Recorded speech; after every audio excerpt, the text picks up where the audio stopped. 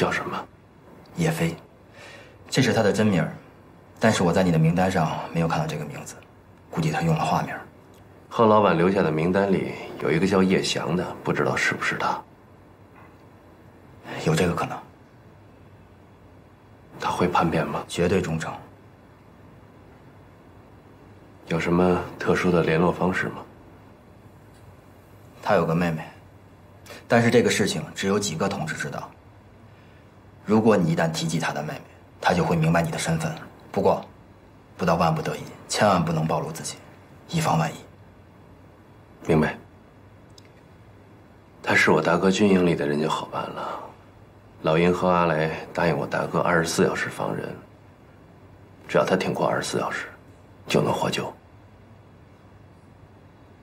老鹰和阿来他们初来乍到，这一次抓了二十几个可疑分子，忙不过来。你们也帮着甄别一下。主任，这是您的意思，还是他们自己的意思？有什么区别吗？于处长，您的意思是不是，如果这不是主任的命令？你就不管帮这忙了？我听秦特派员的意思是看不起我，是吗？阿来和老鹰向来对自己自信满满，如果他们来求我帮忙，我肯定会出手相助。如果是主任的意思的话，我怕他们会觉得主任看不起他们，闹得不团结。这你不用担心，该怎么做就怎么做。是，魏勇，对你有什么建议？我没什么建议，主任让我做什么，我就做什么。他们跟你走的比较近，在南宁人生地不熟的，能帮着就帮衬一下。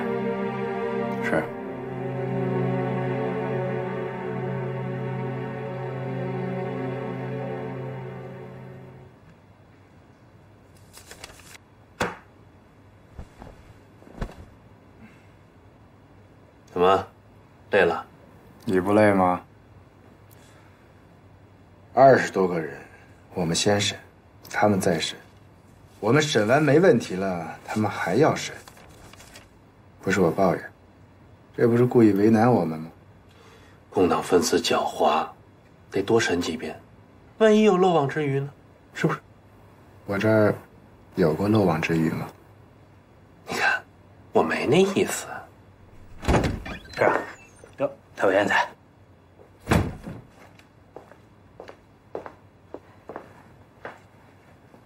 师长，人带到了宣室。叫什么？叶翔。是一旅一团三营四连那个叶翔？对，就是他。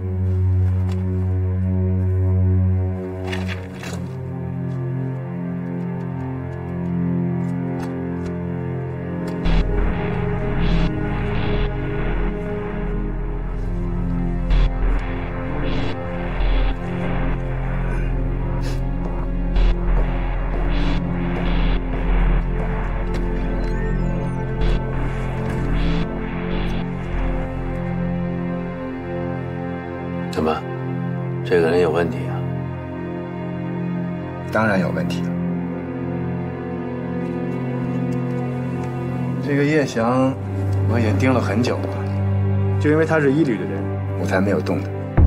这次老鹰和阿来把他抓来了，我怎么能错过这个机会呢？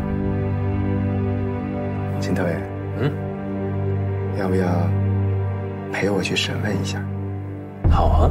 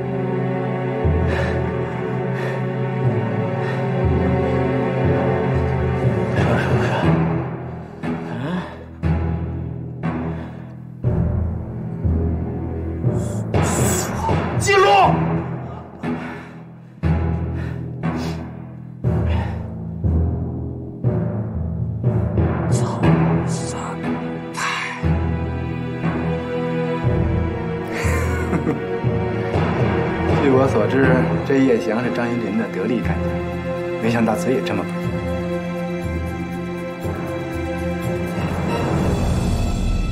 特爷，有些不忍心是吗？我只是觉得你们这么折磨人吧，费时费力，你可没打两下就招了呀。所以要继续打，他能招的更多。再打，他就把家谱都背出来了。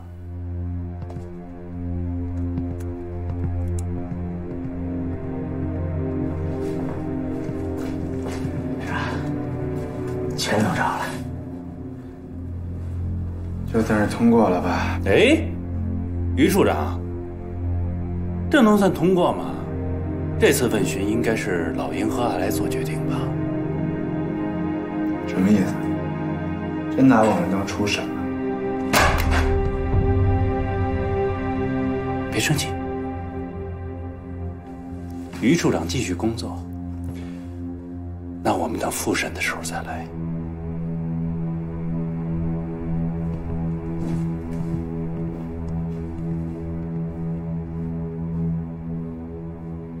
处长，哎，你看我刚才那初审算过了吧？你觉着呢？抓到他的时候，他身上有什么呀？不知道啊。处长，您忘了，这人不是我们抓的，来的时候什么都没有，就一人。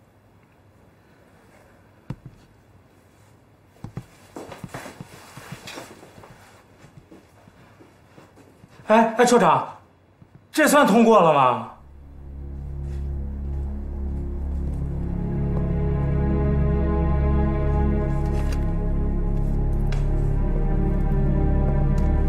一审的结果说没有问题，这个叶翔，百分之百有问题。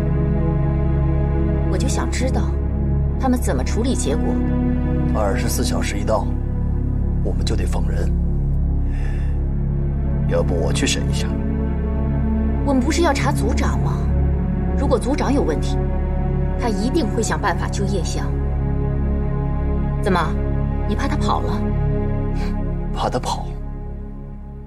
他怎么跑的？我怎么给他抓回来？跟着他，我们能查更多的人。比起跟踪，组长可没你厉害。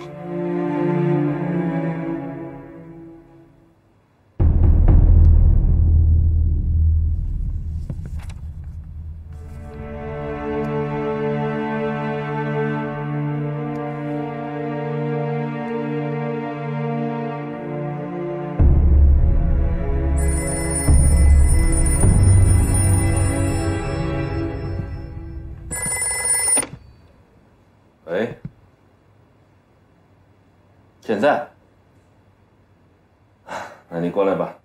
哎，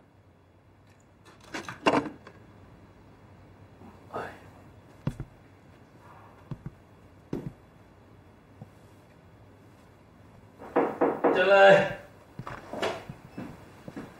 哎呀，抓了那么多人，这资料都把人看晕了。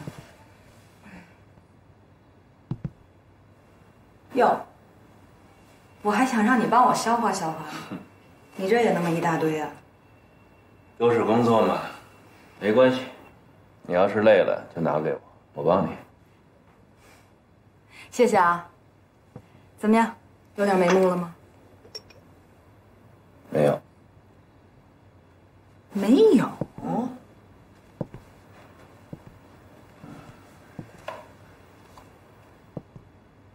哎呀叶翔，哎，多看。我就是看看你在看什么资料。这个叶翔有问题吗？当然有问题了。这个叶翔啊，是我在清党运动中查出他的。嗯，他跟一个倒卖军饷、私放高利贷的案子有关。那这也不像共党干的事儿吧？就是说呀，那也不能因为这个就排除他是共党分子对吧？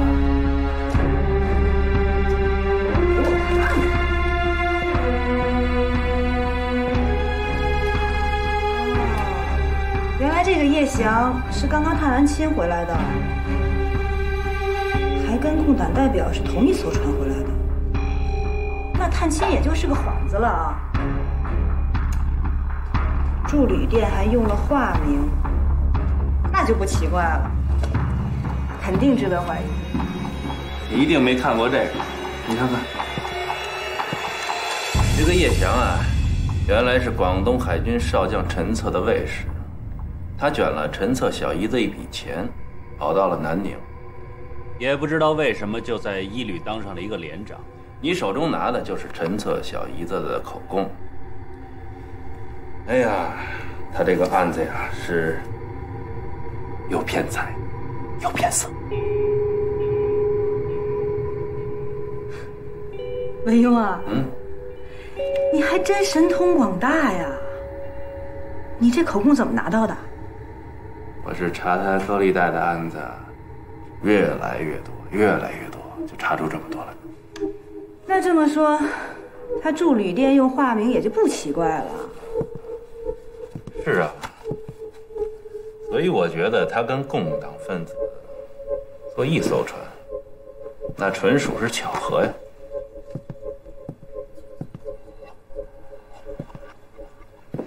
那你赶快放人啊！好歹他也是你大哥部队里的人，放一个少一个麻烦。我干嘛要做那个好人？嗯，人又不是我抓回来的，审案子的又不是阿来和老鹰，下酷刑的呀，是那个于傻蛋。哦，我懂了，叶翔呢是无辜的，嗯，但是他现在被打得体无完肤，嗯，江云林肯定兴师问罪，阿来跟老鹰也逃离不了关系，那你就等着一箭双雕坐山观虎斗，对吧？嗯，真没想到呀，你还挺会算计人的。哎，你可得把话说清楚。我没有任何算计人的心思啊！再说了，那个叶翔也不是什么好东西，该受点罪。这点我也懂，但是吧，我有一点特别不明白啊。这事儿如果搞砸了，老鹰跟阿来都不好过。那你们以前是零二四小组的人，你怎么不出手帮一把呢？我这是帮理不帮亲。你说他们刚来就乱抓人，给郑主任添多大麻烦？该受点苦。我跟你一样，喜欢看戏。走了，再见。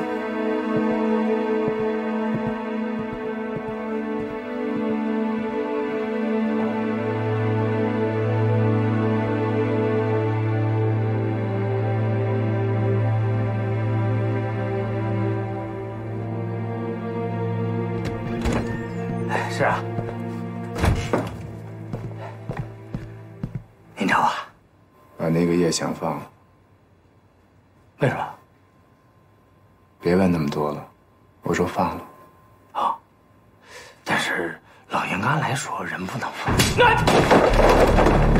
哎放，放放，都放了，都放了。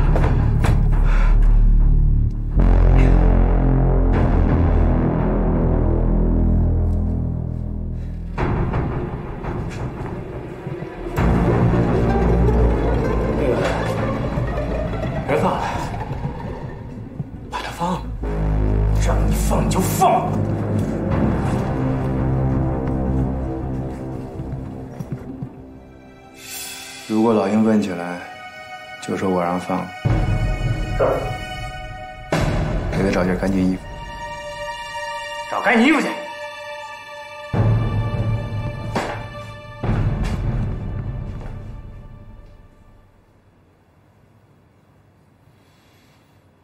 你安全了。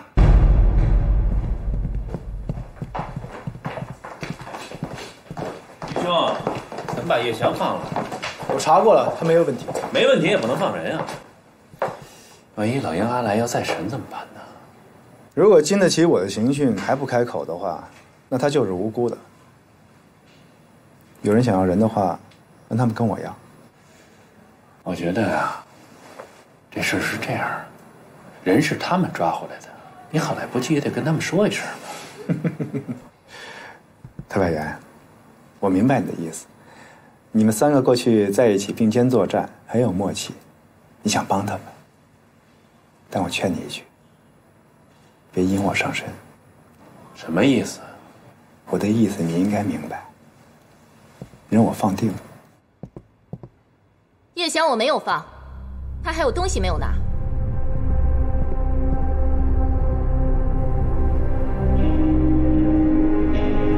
据我们调查，叶翔无疑是共党。他刚刚从香港带回来共党的重要资料。我们抓他的时候，他刚刚回家，应该来不及藏起这些重要的文件。我们去他家里也搜过了，也没有搜出任何结果。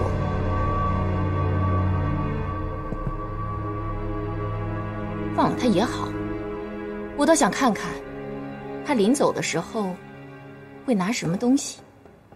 你的意思是说，他带走的东西最可疑？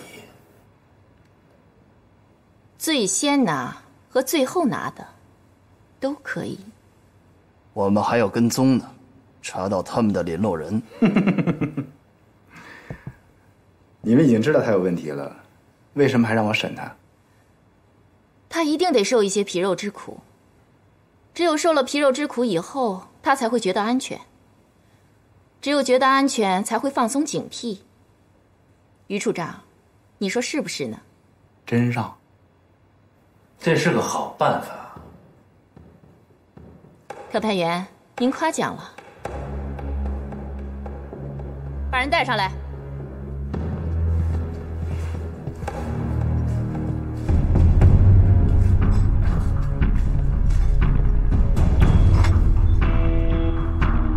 经过调查，你现在是清白的，你可以回去了。那是你的东西，你把它带走吧。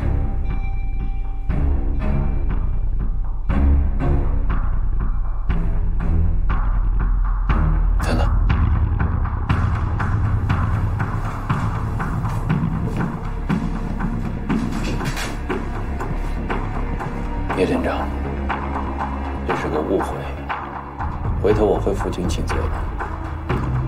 特派员，您言重。恳请叶连长回到部队，千万不要提及这里的事情，尤其是跟我大哥有什么做不到的地方。看看，这里哪样东西是你的？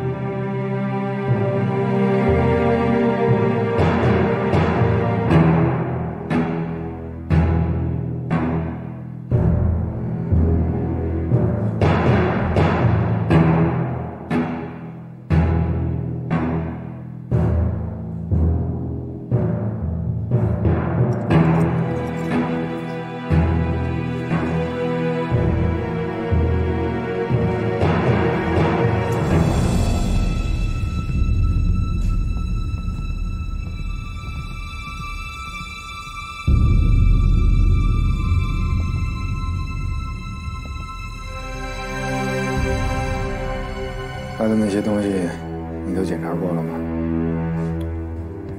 是啊，您您又忘了，人不是我抓的。老鹰，去跟上他。他现在一定会联系同党，我们要一网打尽。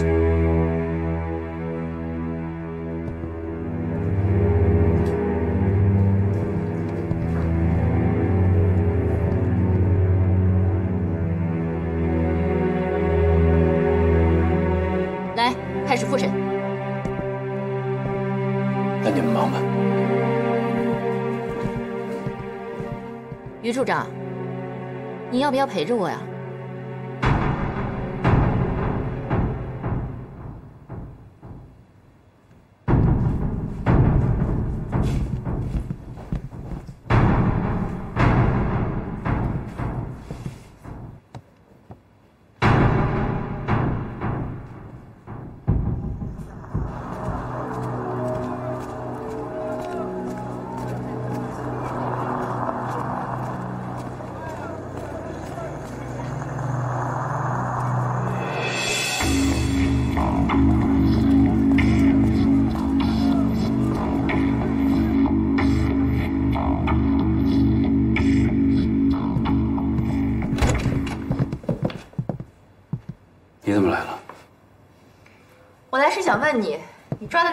么样了？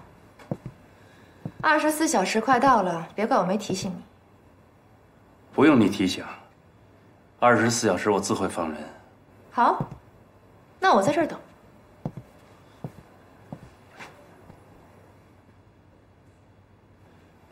林秘书，作为徐主席的私人秘书，你好像不应该这么做吧？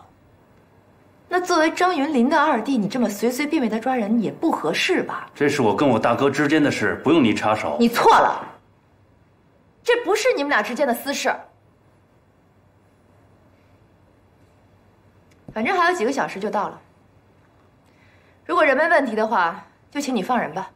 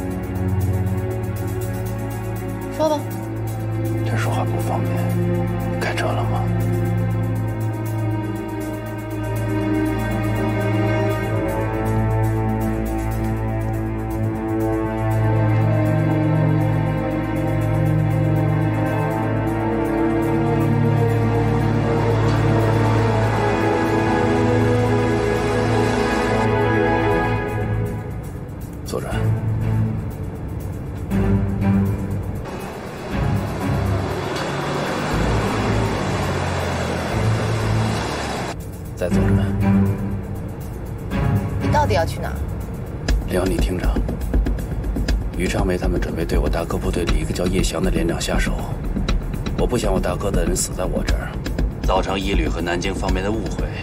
别往后看，有人跟踪。我现在已经违规了，如果你不想我被他们抓到把柄的话，你就帮我。那我，我怎么帮你？一会儿到了前面的街道，你就加速。我跳车之后，你直接回家，等不到我去见你，不许出来。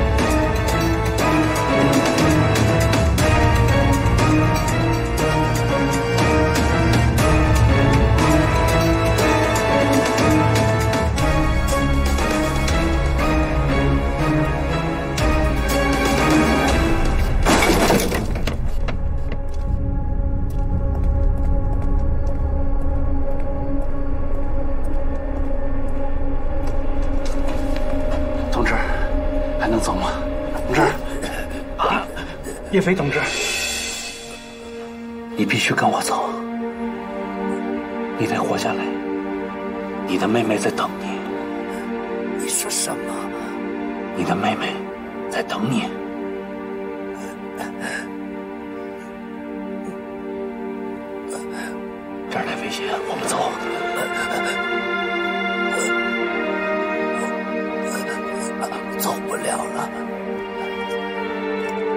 麻烦你，这个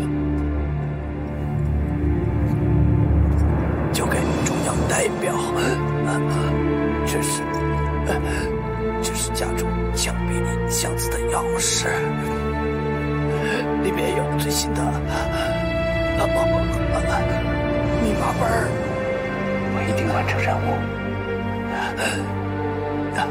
他们抓住一个老人，那个老人人是我父亲，不是党员。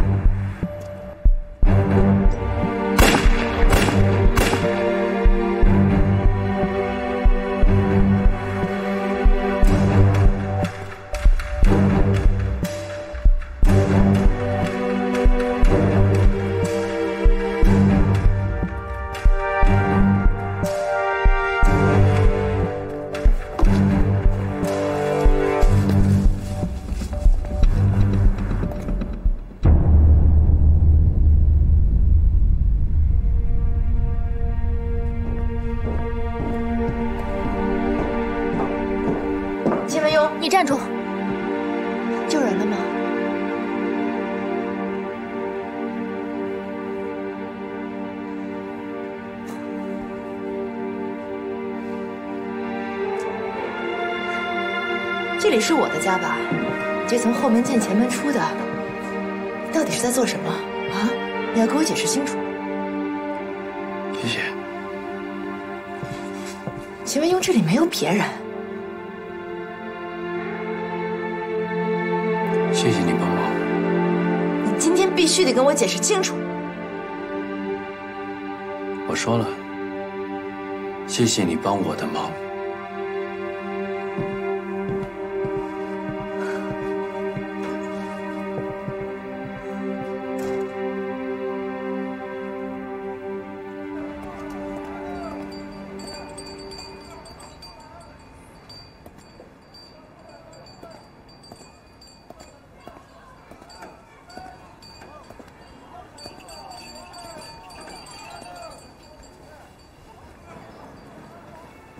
这里等谁？不要！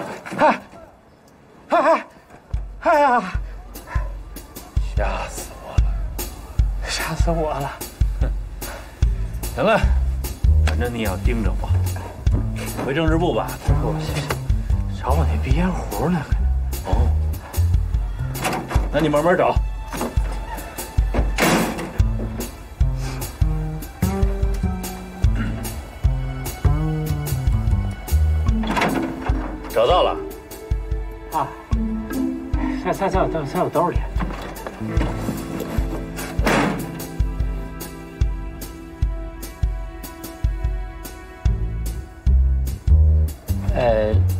林秘书不送送去了？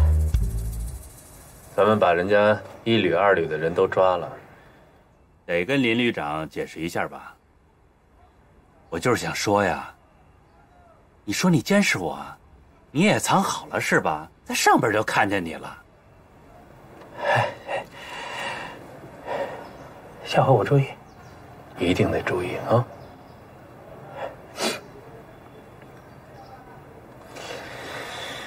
杜云呐，你每次都监视我，但你又拿不到结果，于处长会不会怪罪你？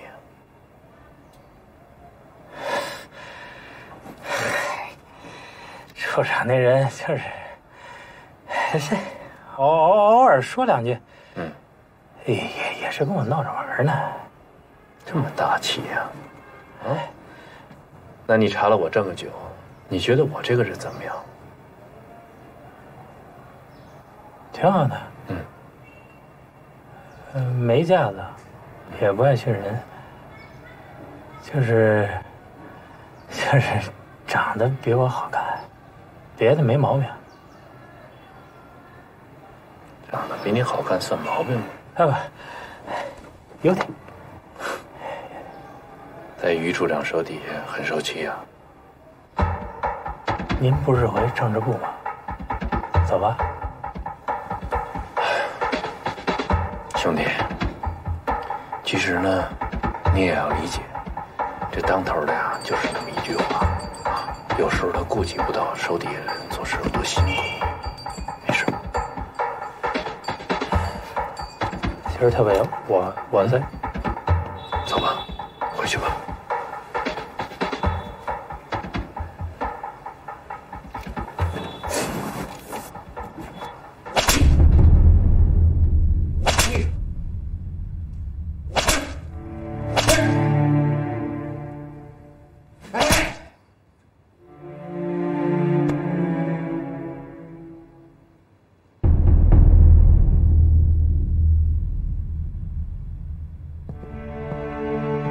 说，共党的密码本在哪儿？不知道。接着打。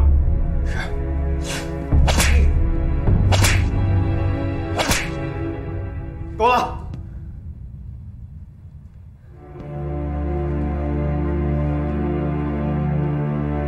老伯，叶翔为什么要跟你联络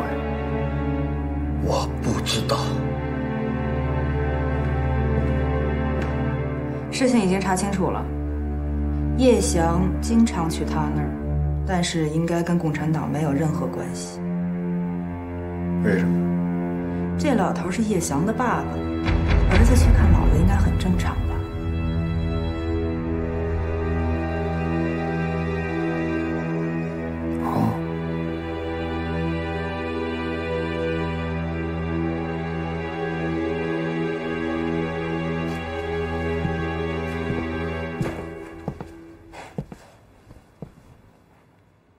老伯，你儿子平时都和什么人来往？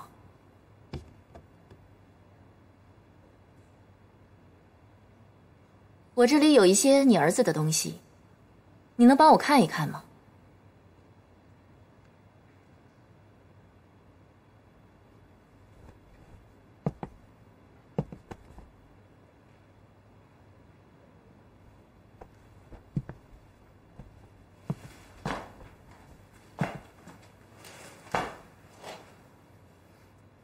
你看看这些东西，都是你儿子的。哪个东西对你儿子是最重要的？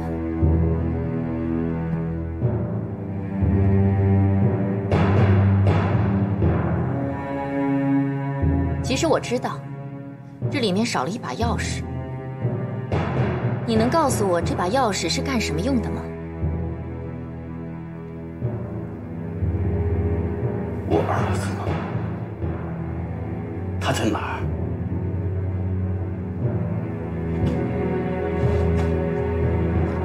我儿子呢？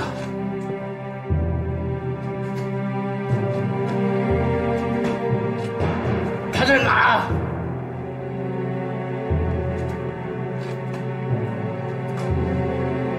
我儿子呢？他在哪儿？他在哪儿？你儿子？你儿子还没有死，只要你告诉我们钥匙在哪儿，我就把你们俩都放了。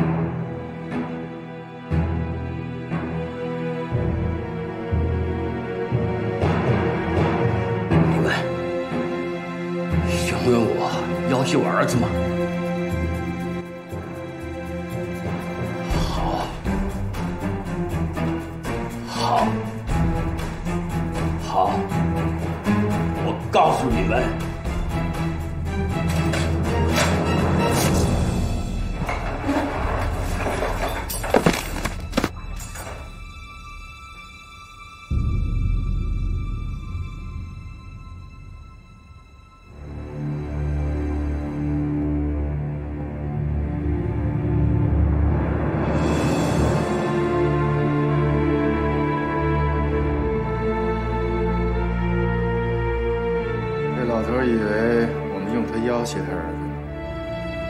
可惜啊，他不知道，他儿子已经死了。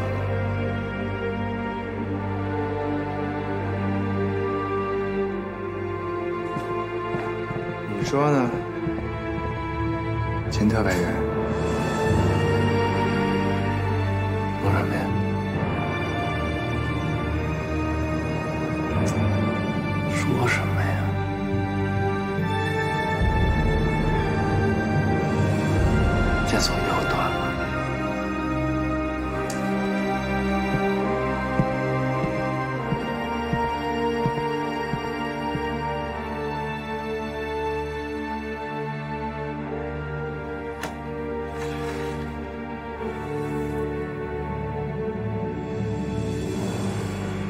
没想到他父亲也是一名顶天立地的汉子。文勇，你也是身不由己。等我们找到了密码本，叶飞和他的父亲就不会白白牺牲。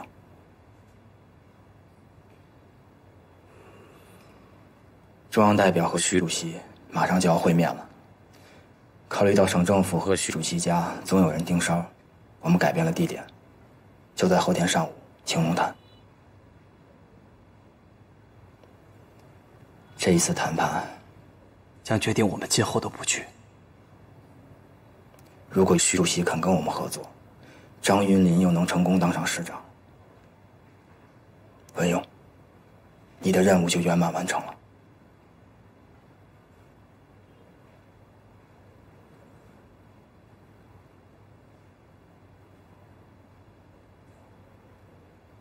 文庸，文庸，嗯，你有心事儿？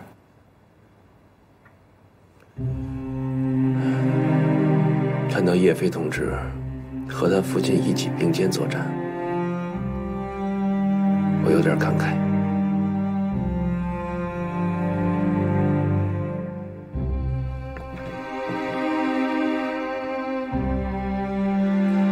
文勇同志，你放心，总有一天，你家人会明白你的。